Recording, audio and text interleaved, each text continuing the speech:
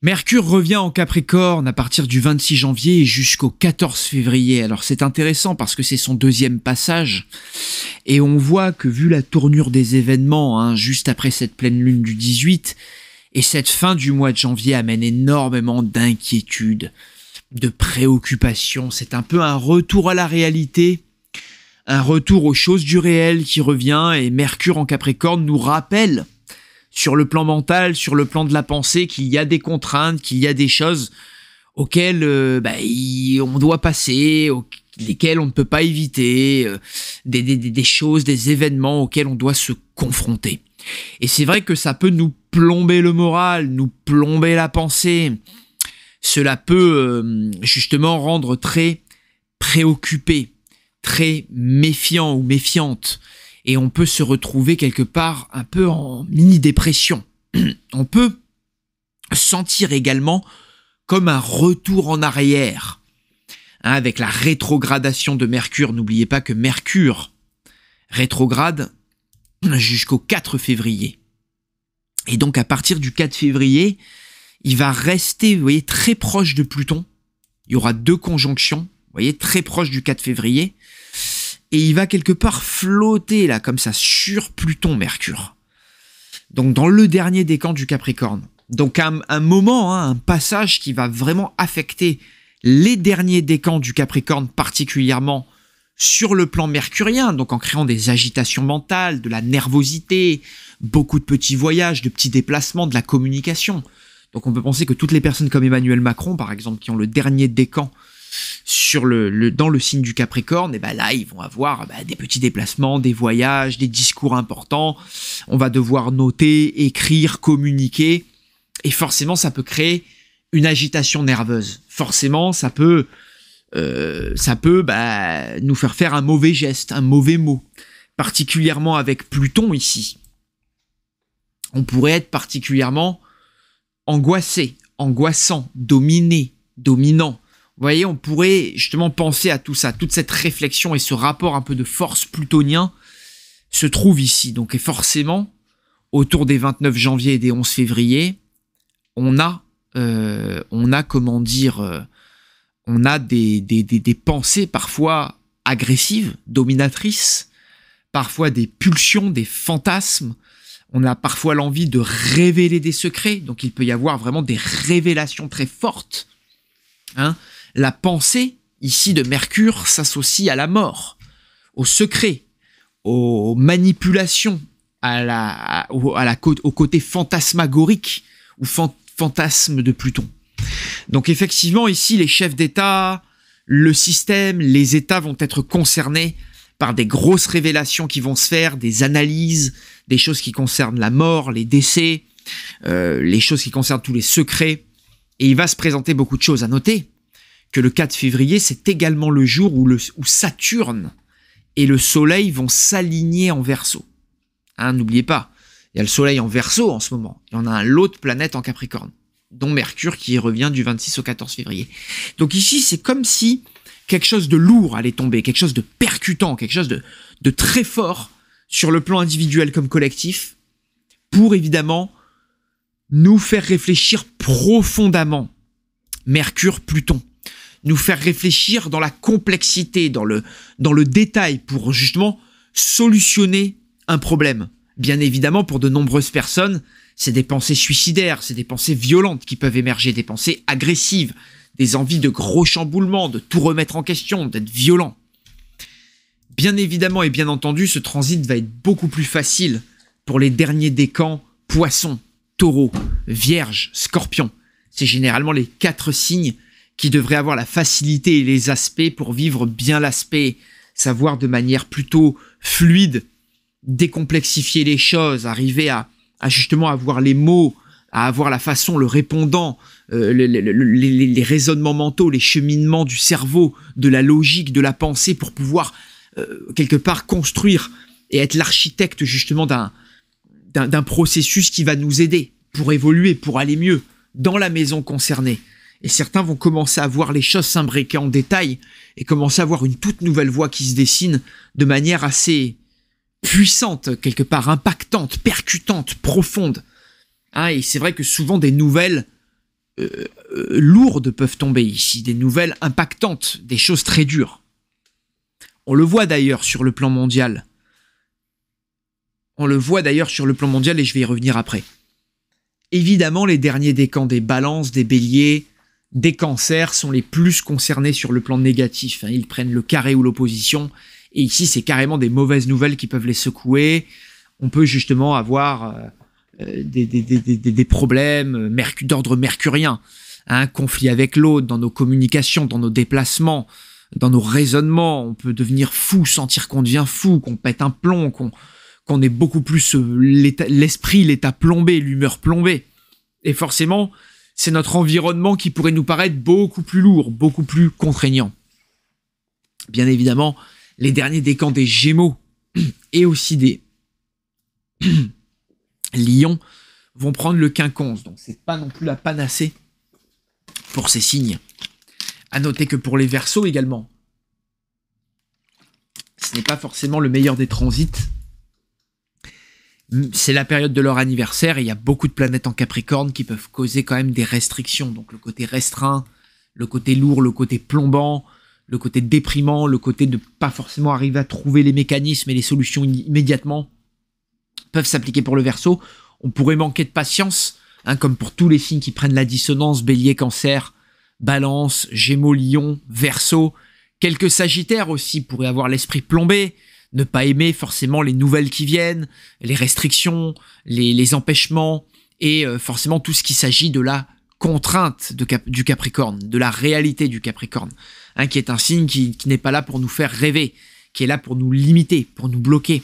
On voit d'ailleurs, j'avais quand même beaucoup insisté euh, que du 14 janvier, euh, et principalement, oui, du 14 janvier au 4 février, il y aurait une rétrogradation de Mercure entre les deux premiers décans du Verseau et le dernier décan du Capricorne. Et j'avais dit que tous les, les signes qui, qui angularisaient mal avec ce, passage auraient des problèmes dans leur communication, dans leurs déplacements, dans leurs examens, dans leurs petits voyages, dans leurs petits déplacements. Et on voit même autour de moi à Cannes, beaucoup d'écoles ont fermé et beaucoup de ces signes ont été forcément impactés. Et vous verrez que si vous faites partie de ces signes, forcément votre routine, votre scolarité, Mercure, ça peut ressembler les études. Si vous êtes assez jeune, enfin si votre enfant est jeune, si vous connaissez des jeunes proches de vous, des gens ont pu être impactés par tout cela. Et donc c'est forcément quelque chose qui, qui doit être notable et notifié. Donc franchement, c'est un, un moment euh, assez pesant, assez euh, angoissant quelque part. Je suis navré de le dire. Mais où dans les bons côtés, retour à la réalité qui nous fait justement nous mettre dans les meilleures dispositions pour construire et pour voir quelque part la réalité, voire même la cruauté, voire même le côté mortifère de la réalité avec Pluton. Donc c'est pour ça qu'autour des 29 janvier, 4, février et 11 février, il y a des aspects très lourds là. c'est vrai que là, autour du 4 février, on voit une petite semaine avant et après. Ça repart en direct, Mercure, mais il peut y avoir vraiment des chocs mentaux, des viols mentaux, hein, des, choses qui percutent très fort et des, événements pas forcément faciles. Donc c'est vrai que euh, moi je m'attends au pire personnellement encore sur ces prochains jours. Euh, vaut mieux se préparer au pire hein, pour savourer le meilleur. Et des fois, faut pas forcément prier pour avoir une belle vie, mais plutôt avoir la force pour avoir la force justement d'endurer une difficile. Et c'est justement un peu ça la, mentalité de ces aspects et un peu la, la philosophie qu'il faudrait aborder. Alors on le voit concrètement qu'il y a un vrai retour en arrière, les choses ne s'améliorent pas hein, mondialement parlant. Plan économie, on a le FMI, hein, donc le Fonds monétaire international, qui nous fait des prévisions beaucoup plus en deçà en termes de croissance pour 2022 que ce qu'il avait dit avant le début de l'année. Donc on voit que l'économie ne repart pas, il y a des inquiétudes en ce qui concerne la Chine, les États-Unis et tout le reste de l'économie mondiale. Donc euh, c'est vrai que beaucoup euh, de pays, euh, vous l'avez vu, il y a eu aussi beaucoup de choses. Hein, en termes énergétiques, beaucoup de pannes de courant, de renversement. Hein, on l'a vu, je parlais du verso et du renversement. Propre à cette nouvelle lune qui est là le 1er février, on a vu des renversements en Afrique, je crois au Burkina Faso si je dis pas de bêtises. Bref, on voit beaucoup d'événements. C'est justement la crypto qui s'effondre, la fin d'un rêve. Là encore une fois, on voit comment les analyses astrologiques sont souvent meilleures que tout ce qui se passait de manière ambiante, même si ça n'a pas empêché les gens de se planter, moi aussi, de, croire que le Bitcoin allait vraiment monter, surtout sur cette fin d'année où il a pété son record en, octobre-novembre. Et on voit que malheureusement, après, la, rétrogradation de Vénus n'a pas, pas amené ce qu'elle comptait amener. Et comme je l'avais prévu, hein, le, Bitcoin a beaucoup fluctué pour finalement redescendre. Et on peut penser qu'il ne va pas remonter avant un bon moment après mars 2022. Voilà, mais ça c'est vrai que c'est vraiment le crack des cryptos et ça va s'accélérer je pense autour de cette nouvelle lune. Et c'est vrai que ça a été très très dur pour beaucoup de personnes euh, euh, que j'ai vues, que je, suis même sur internet et tout, qui j'ai eu, ils ont beaucoup perdu et ils ont beaucoup pris. Alors c'est également bah, le retour et l'angoisse de l'inflation hein, sur le plan économique. Hein, avec euh, d'autres instituts qui disent qu'il va y avoir beaucoup d'explosions de bulles, bulles des ETF, euh, bulles, euh, bulles immobilières, que les prix pourraient monter globalement de 7 à 10% dans l'année. Et c'est vrai qu'avec des événements comme la conjonction Jupiter-Neptune d'avril 2022, le prochain carré entre Saturne et Uranus d'octobre 2022, et la conjonction Jupiter-Uranus du mois d'avril 2024, il pourrait y avoir beaucoup de changements sur le plan monétaire, financier mondial. Hein, on pourrait avoir quand même l'arrivée, à mon avis, avec Jupiter-Uranus d'ici avril 2024, d'une crypto-monnaie mondiale ou d'une monnaie numérique un peu basée sur le système blockchain, mais sûrement contrôlée par un État. Et peut-être que l'avril 2022 ou l'octobre 2022 vont créer des problèmes d'inflation des problèmes inflationnistes tels qu'il va falloir peut-être introduire des nouvelles valeurs et introduire une monnaie numérique. Alors on sait que la Chine, elle est sur le yuan mondial, là, sur le yuan électronique, le yuan numérique. Donc c'est sûrement ça qui va se passer, d'autant plus que Christian Duchossois l'avait, euh, savamment euh, souligné. La dernière conjonction Jupiter-Saturne en verso qu'il y a eu en 1226, c'est Saint-Louis et la création du Louis d'or. Et là, c'est vrai qu'en 2021, il y a eu la conjonction Jupiter-Saturne en verso, avec l'arrivée du vaccin, euh, du QR code et autres. on peut penser que peut-être à travers ça, la montée des crypto-monnaies et tout, il va y avoir quand même une, technologie basée sur la blockchain et une nouvelle monnaie, un nouveau système monétaire mondial peut-être basé sur cette, euh, sur cette technologie qui va arriver. Donc peut-être que dans les années qui vont découler cet événement, euh, on va retrouver cela, ça sera à suivre. Côté santé, on voit qu'on a beaucoup de problèmes euh, que effectivement la, crise du coronavirus n'est pas finie. Elle est d'autant plus inquiétante que, bien évidemment, le, variant Omicron, semble moins tué. Le vaccin serait censé nous protéger des formes graves, mais paradoxalement, on a toujours des vaccinés qui tombent malades, qui sont en réanimation à l'hôpital. Et, euh, on a effectivement euh, un nombre important de morts un nombre même euh, anormal de morts selon certains rapports.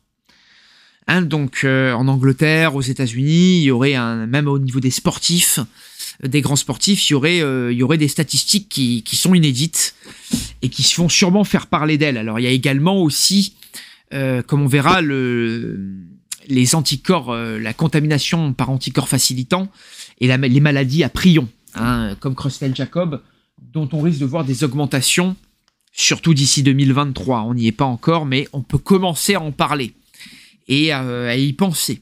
Voilà, il pourrait y avoir effectivement des statistiques, euh, des nombres au niveau des calculs, au niveau des morts, euh, qui font parler d'eux justement autour de, ce 4 février. Et donc des deux prochaines conjonctions Mercure-Pluton. Notez bien qu'autour de la fin décembre, on a déjà évoqué ces problèmes-là et on a déjà vu ces problèmes de contamination massive arriver et de de justement de, certaines personnes qui ont accusé les médias de pas tout dire au niveau des, des vaccinés, des non vaccinés à l'hôpital. Parce qu'au début, c'était 90% de non vaccinés dans les hôpitaux, ou 80%. Après, c'est devenu 60, puis après, c'était 50-50. Puis maintenant, il paraîtrait que c'est plus de vaccinés, certains disent. Alors à qui croire? On ne sait plus. On est perdu, hein C'est bizarre, hein Alors, géopolitique mondiale, bah forcément avec les guerres, c'est un moment de frustration avec le spectre de la guerre en Ukraine et de la Chine, enfin de la guerre pardon Russie-USA, mais derrière cette Chine communiste un peu qui manipule tout, le, toute la trame, c'est vrai que c'est très compliqué et qui tire beaucoup parti, elle, de cette situation. Donc forcément, euh, des inquiétudes, des frustrations. Euh, sur le plan social et mondial, on voit beaucoup de grèves, beaucoup de personnes se découragent, s'abandonnent. Et c'est là où il faut vous dire, les amis, que malgré tout ce qui se passe, si les choses étaient perdues, si c'était plié, singé, eh ben on serait déjà mal, là, on serait déjà avec les fers au poignet ou au cou. Donc il faut garder espoir. Si la situation était désespérée, il n'y aurait pas de nombreuses manipulations et de personnes pour nous convaincre, pour nous emmurer dans des déprimes, dans des visions très fermées du monde et de la vie et de la destinée. Le monde est beau, les gens sont beaux, l'humain est beau, et malgré tout ce qui se passe en, ce moment, ça crée des réveils massifs, des prises de conscience. Même les pires pourritures humaines sont en train de se regarder dans le miroir et de se dire mais, mais merde, il m'arrive des couilles à moi aussi. Finalement, j'en suis, j'en suis le premier frappé de tout ça. Et forcément, on voit à quel point finalement ce qu'on peut critiquer chez l'autre, on a à faire une réelle introspection de soi-même. Qu'est-ce que j'ai fait pour améliorer le monde? Qu'est-ce que j'ai fait pour améliorer cette crise? Qu'est-ce que j'ai fait pour faire changer les choses? Est-ce que j'ai parlé quand il fallait parler? Est-ce que j'ai élevé ma voix suffisamment? La réponse, moi, en ce qui me concerne, elle est bien évidemment non. Et forcément, c'est là où on doit avoir un, je pense, un déclic positif et de faire un peu grandir quelque part euh, notre manière de penser, notre manière d'être, pour essayer d'être un peu plus euh, ferme, un peu plus droit, un peu plus sérieux un peu plus honnête intellectuellement avec nous-mêmes. Alors forcément, euh, forcément, c'est clair que ça peut être une, phase pour beaucoup où, l'on se retrouve un peu plombé par les événements, un peu, un mis en difficulté par les événements, par les nouvelles. La conjonction Saturne-Soleil, je vais en faire une vidéo qui, qui se passe autour du 4. Elle se passera pour le 4 février, sur le deuxième décan des Verseaux. Elle va être, elle va être dure, elle va être plombante, et vous verrez, il va y avoir des nouvelles assez, assez inquiétante dans le monde à ce moment-là, assez lourde. Ça va être un moment de, challenge pour les chefs d'État et les pouvoirs en place.